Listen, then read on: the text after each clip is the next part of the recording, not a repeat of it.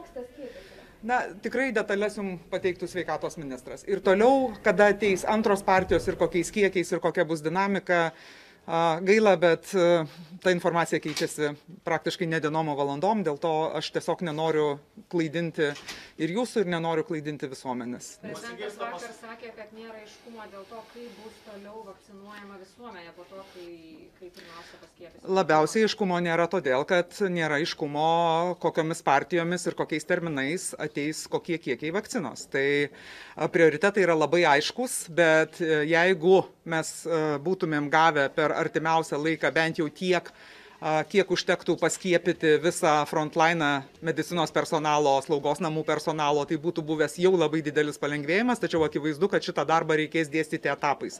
Vien todėl, kad, e, kaip jau ir minėjau, aš nenoriu čia nieko nei gazdinti, nei spekuliuoti, nes ta informacija ir į vieną ir į kitą pusę keičiasi kiekvieną dieną. Kartais ateina geresnės žinios, kartais mažiau geros. Akivaizdu, kad e, tikrai tas procesas vyks, ta prasme mes tą vakciną gausime nuolat kažkokiais, a, ka- kažkokiamis porcijomis, bet pagal tai tiesiog turėsim savo darbus operatyviai adaptuoti. pasigirsta pasvarstymų, kad visi antivakseriai, kurie neigia skiepus ir neketina skiepytis, jų galbūt tiesiog ir nereikėtų gydyti, jeigu susirgtų to lyga. Kaip jums tokias mintis? Žiūrėkit, a, turbūt, kad a, tokių minčių pasigirsta, kad gal rinkos paskatos turėtų būti tokios, kad žmonės galėtų patys iš savo kišenės susimokėti už reanimaciją ir tuomet žinotų, kiek iš ties kainuoja para reanimacijoje. Bet akivaizdu, kad mes turime a, na, visuotinę garantiją sveikatos a, paslaugų, kuri yra numatyta mūsų konstitucijoje, kad būtinoji medicininė pagalba yra teikiama, tai ji bus teikiama visiems, ar jūs vakseriai, ar antivakseriai, kaip ten jau bebūtų. Tokia yra tiesiog, tokia yra mūsų šalies konstitucija. Man labai gaila, kad, a, kad a, na, labai dažnai a, pasitaiko žmonių, kurie kažkaip selektyviai visai pripažįsta tas vakcinas kabutėse, kurias gamina mūsų rytų kaimynas, kažkodėl tos vakcinos negazdina, nors irgi vakcinos tarsi būtų. Bet, bet čia jau gal tokia, tokia gyvenimo ironija. Iš tikrųjų, manau, kad žmonės priims a, savo sprendimus kiekvienas pats, ar skiepytis ar ne. Mes tikrai esame pasirengę suteikti informaciją tiem, kurie yra, na taip sakykime, pozityvūs abejotojai, tai yra tie, kuriems reikia tiesiog daugiau informacijos tam, kad sprendimą priimtų. Žmonių, kurie neigia skiepus, akivaizdu, kad e, į priešingą kelią atversti turbūt yra nevyriausybės, nevyriausybės galioje. Premjera, klausimas dėl lietuvių įstrigusių Junktinėje karalystėje. Kaip bus jie pargabenami į Lietuvą čia dėl vyriausybės lėktuvų? Na, tikrai tų sprendimų bus ieškoma. Vakar kalbėjome apie tai su kitais dviem Baltijos šalių premjerais, kadangi yra ir lietuvių, ir latvių, ir estų.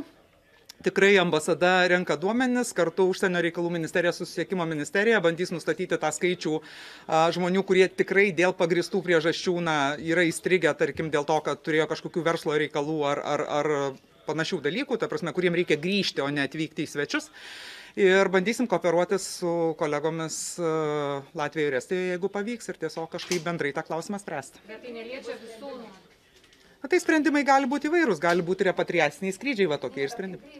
E, Tai dienomis dabar dirba užsienio reikalų ministerija, dirba ambasada, dirba susiekimo ministerija, tai tiesiog, kai turėsim daugiau informacijos, jos ir pateiks. Bet tai neliečia visų norinčių dabar atvykti. Na, neliečia, todėl kad būtų labai keista, jeigu būtų kažkokia kita pozicija, todėl kad, man atrodo, nuo pat pradžių, kada buvo įvestos karantino priemonės, mes tikrai raginome į svečius šventėms į Lietuvą nevažiuoti, todėl kad epideminė situacija yra sudėtinga, dabar Junktinėje karalystėje dar atsirado papildomų situacijos apsunkinimų ir tikrai netrodo, kad tai būtų labai gera mintis a, šventėms grįžti į Lietuvą. Tai tie žmonės, kurie įstrigo dėl to, kad yra kažkokie dalykiniai ryšiai ar kažkokios ypatingos aplinkybės, tai čia yra atskira istorija. Tie žmonės, kurie norėtų atvykti į Lietuvą pasisvečiuoti, būtų gerai, kad jie atvyktų tada, kada padėtis bus saugesnė. Dėl pandemijos suvaldymo valstiečių atstovai sako, kad per mažai numatyta biudžete lėšų milijardas. Kaip jūs komentuotumėte? Nežinau, galima juoktis. Bet ar turėtumėt, nes jie kartuoja iš principo, kad e, numatyta biudžete, kad dėl to prastės skolinimas reitingas ir kad per mažai lėšų. Ar galima juoktis? Aš turiu klausimą, o kiek lėšų pandemijos valdymui buvo numatę patys valstiečiai? Na, ta prasme, humoro jausmas yra puikus dalykas, bet kartais jau tai jau yra net nebe ironija ir nebe sarkazmas, o jau kažkoks juodas humoras, nes aš noriu priminti, kad biudžeto projekte, kurį pateikė ankstesnė vyriausybė, pandemijos suvaldymui buvo numatytas nulis. Na, buvo numatyta kažkiek lėšų apmokėti sąskaitas, kurios kurios būtų atėjusios už gruodžio mėnesį ir tai, kaip paaiškėjo vėliau, nepakankamai. Tai taip labai gali būti, kad tų lėšų pristiks, labai gali būti ir mes apie tai kalbėjom tada, kada buvo pateiktas patikslintas biudžeto projektas. Dabar yra suplanuotas lėšų poreikis pagal tai, ką mes geriausio dabar galim žinoti ir planuoti pusiai metų. Jeigu situacija užsitęs arba jeigu bus lėšų papildomas poreikis, tai skirtingai nuo buvusios vyriausybės mes ateisim į Seimą su biudžeto patikslinimais. Ką, ką čia dar galima daryti? Tai tegul nepergyvena, man atrodo, reikėjo pergyventi prieš du mėnesius. Jie dėl to labai nepatenkinti, kad tas papildomas milijardas įtrauktas į išlaidas, nes sako, tai yra mechaninis deficito didinimas. O jeigu paslepi išlaidą skolinimosi limite ir jų nedeklaruoji, tai nėra deficito didinimas. Gal e, kas nors pabandytų pasakyti, kad šių metų biudžeto deficitas yra 0,6 procentai BVP pertekliaus, taip kaip buvo teigiama ir kaip dabar beje yra teigiama 20 metų biudžeto projekte, tai šių metų deficitas yra beveik 9 procentai nuo BVP. Taip, pati bazė šiek tiek sumažėjo, bet didžioji dalis atsirado dėl to, kad buvo nesurinktos pajamos ir padarytos išlaidos iš skolintų lėšų, kurios yra virš biudžeto tiesiog. Tai tai yra deficitas. Tai man atrodo, kad skaidrus ir atsakingas biudžeto valdymas reikalauja, kad Seimas apsispręstų dėl to, kokiom sritim, kokiom institucijom yra paskiriami biudžeto pinigai tiek surinkti kaip mokesčiai, tiek ir pasiskolinti mokesčių mokėtojų vardu. Ana vyriausybė galvojo, kad jį pati gali spręsti savo posėdžių pasitarimais, ten potvarkiais ir kažkokiais kitais gana žemo lygio teisės aktais. Tai man atrodo visiškai kitaip, nes deficitas dėl to nei padidėja, nei, nei sumažėja, kaip tik atsiranda daugiau skaidrumo. Aišku, kokiose institucijose kokios sumos yra numatytos kokiom priemonėm. Tai man atrodo, kad taip turėtų būti. Siūloma praplėsti judėjimo zonas. Kodėl taip siūloma daryti, ne, rajono zonose leisti judėti? Ir ar tai nepas, nelems atsipalaidavimo?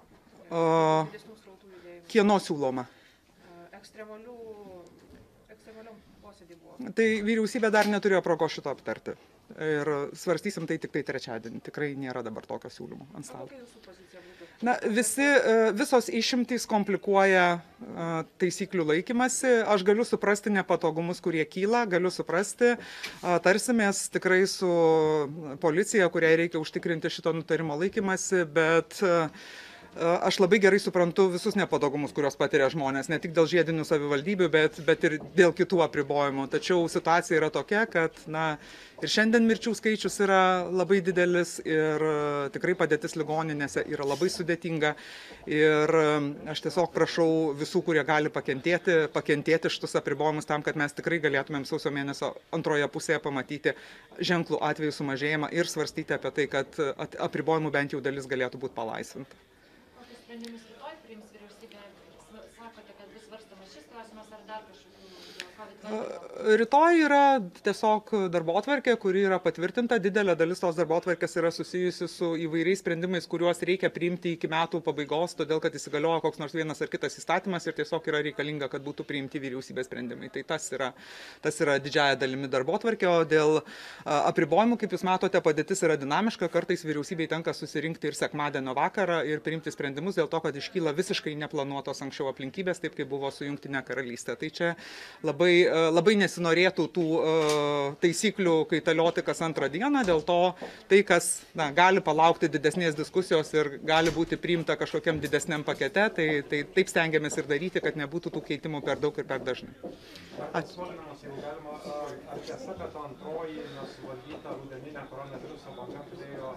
Neigiamos įtakos Lietuvos skolinimosi kainai? Na, kol kas labai sunku pasakyti, kas čia turėjo įtakos kainai. Veikiau uh, tokia globali situacija, nes uh, matyt, kad uh, tas na, kilimas bangos visame pasaulyje turėjo turėjo matyti įtakos e, tiem lūkesčiam, kurie galbūt vasarą jau buvo besiformuojantis, kad atšokimas bus staigus, ką iš esmės prognozavo ir didžioji dalis tarptautinių organizacijų, kurios visos e, prognozavo labai didelį smukimą šiais metais ir labai staigų atšokimą praktiškai visame pasaulyje ateinančiais metais. Dabar akivaizdu, kad tas ekonominis paveikslas yra truputį kitas, negu kad buvo sakyta, tiek ir smukimas tarsi yra mažesnis dėl įvairių priežasčių, bet ir atsigavimas yra labiau abejotinas. Tai aš manau, kad tą labiau lemia tiesiog globali, globali aplinka. Nes verslas akcentuoja, kad Latvija, Estija skolinasi už neigiamas palūkanas, o draugiamas Lietuva tuo metu jau išteigia.